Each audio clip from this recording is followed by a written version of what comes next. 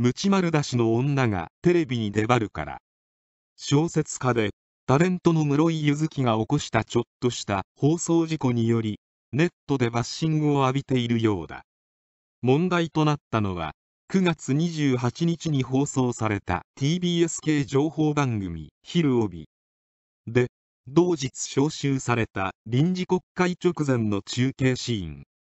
番組では天皇陛下に署名いただいた紫のふさに包まれた解散証書を運ぶ内閣総務官が映し出されていた。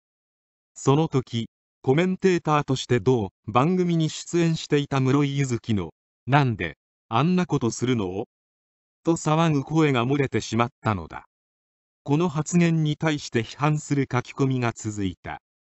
室井佑月が天皇陛下からいただいた解散証書を衆議院本会議場に運ぶことについてなんでこんなことをするの？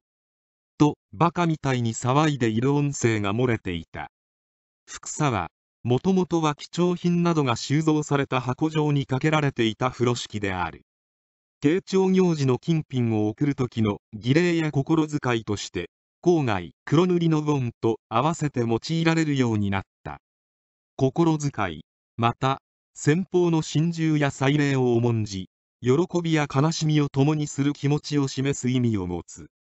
のし袋で金封しさらに服さで包むことで礼節と決め細やかな心遣いを示す道具。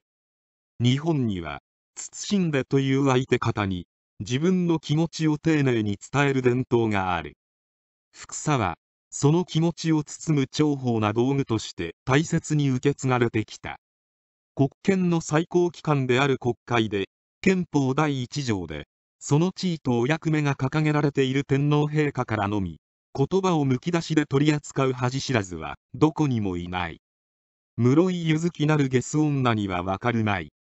黙っていれば己のひどさもさらけ出されずに済むものを。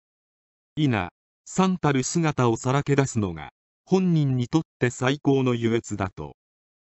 ネット上のコメント誰か室井ゆずきをコメンテーターから下ろしてくれないかな。ものを知らない人は愚か者。